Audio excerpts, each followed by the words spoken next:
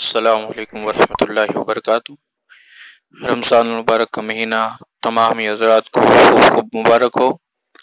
اور آج کچھ عملیات کے معاملے میں بات کریں گے کہ رمضان المبارک برکت والا مہینہ، رحمت والا مہینہ اور ایسا عظیم الشان مہینہ کہ اللہ تبارک و تعالیٰ اس میں شیطان کو بھی قید کر دیتا ہے۔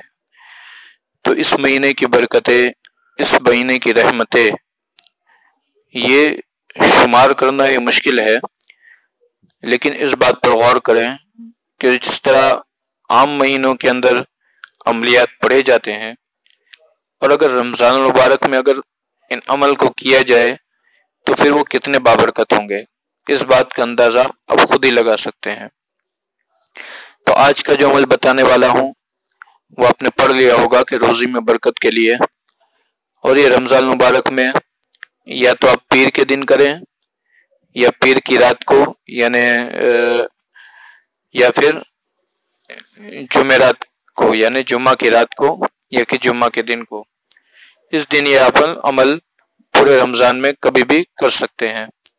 تو اس عمل کا طریقہ بتاؤں اور اس کے فوائد بتاؤں۔ اس سے پہلے اگر آپ نئے ہیں تو سبسکرائب کریں اور اگر آپ کو ویڈیو اچھا لگے تو لائک کریں۔ اچھا نہ لگے تو ڈس لائک بھی آپ کر سکتے ہیں۔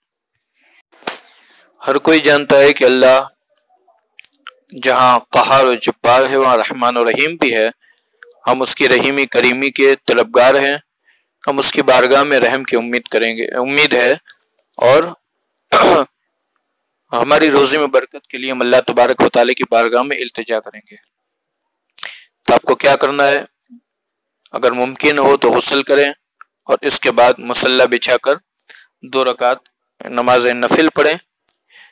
اور جس میں پہلی رکعت میں الحمد شریف کے بعد تین مرتبہ سور اخلاص پڑھنا ہے، دوسری رکعت میں بھی الحمد شریف کے بعد تین مرتبہ سور اخلاص پڑھنا ہے۔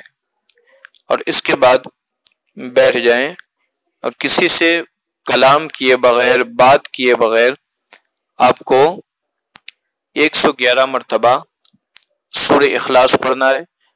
آگے پیچھے تین تین بار درو شریف پڑھیں۔ اور اس کے بعد اللہ تبارک و تعالیٰ کی بارگاہ میں ہاتھ اٹھائیں اور دعا کے اندر اکیس مرتبہ یا اللہ یا رحمان و یا رحیم، یا اللہ یا رحمان و یا رحیم، یا اللہ یا رحمان و یا رحیم یا اکیس مرتبہ یا پڑھیں۔ اور اس کے بعد رب کی بارگاہ میں دعا کریں کہ یا اللہ رمضان المبارک کی برکتوں سے اور رحمت والے نبی صلی اللہ علیہ وسلم کی برکت سے رحمت والے نبی علیہ السلاۃ والسلام کے توسل سے مولا میری روزی میں برکت عطا فرما۔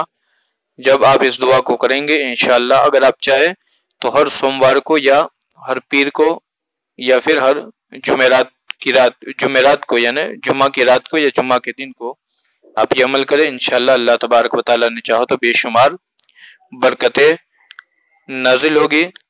دعا کیجیے میرے لیے، تمام لوگوں کے حق میں لیے، مسلمانوں کے حق میں دعا کیجیے السلام